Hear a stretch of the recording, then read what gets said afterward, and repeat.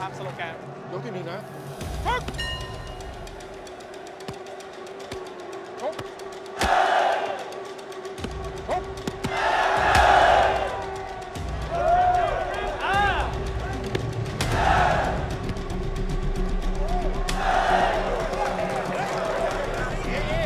เซียนมวยทุกคนเนี่ยเขาจะเข้าใจภาษา เขาจะมีภาษามือ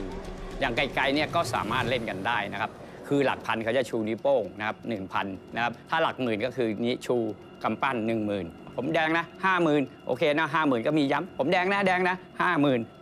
คือเข้าใจนี่คือเป็นภาษามือของเซียนมวยทุกคนจะต้องมีภาษามือทุกคน